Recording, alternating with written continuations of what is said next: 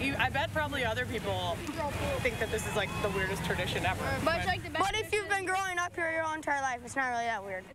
Not really that weird. Well, today marks the return of the Wisconsin State Cow Chip Throw, a Dairyland tradition that's been around since 1975. Our Catherine Mark tells us more about what the event means to the Prairie du Sac community. It doesn't get much more Wisconsin than this. That one's good.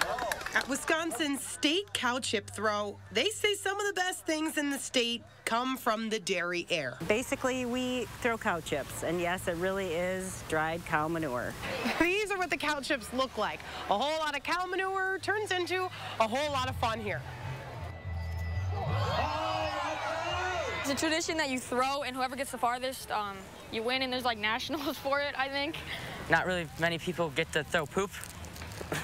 Maybe in other states, something like this wouldn't make much sense. Are you guys like not grossed out by that? No, it's Wisconsin. Wisconsin. The event says a lot about America's Dairyland. Not just the crappy things, It is mushy. but the wholesome parts as well. It's really brought the community together as a whole. How can you not have fun when you're talking about cow chips? Reporting from Prairie du Sac, I'm Catherine Merck with News 3 Now.